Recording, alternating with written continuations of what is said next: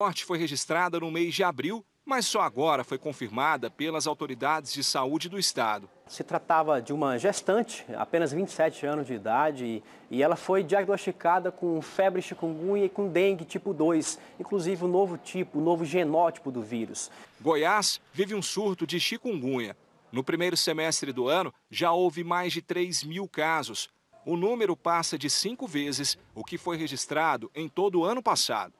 A doença avança em todo o país. De acordo com o último boletim do Ministério da Saúde, só neste ano já foram notificados mais de 120 mil casos de chikungunya no Brasil, quase o dobro do mesmo período do ano passado. 23 pessoas morreram e outros 50 óbitos estão sendo investigados. A chikungunya é transmitida pelo mosquito Aedes aegypti, o mesmo da dengue e da zika.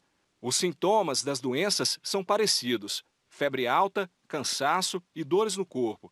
Cerca de 90% das pessoas que se contaminam com a chikungunya continuam sentindo dores, mesmo depois de curadas do vírus. Uma coisa que é característica da chikungunya são dores articulares.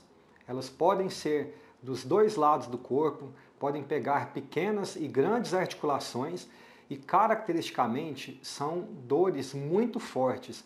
E essas dores elas podem permanecer na pessoa mesmo que ele não esteja mais com a infecção ativa pelo vírus.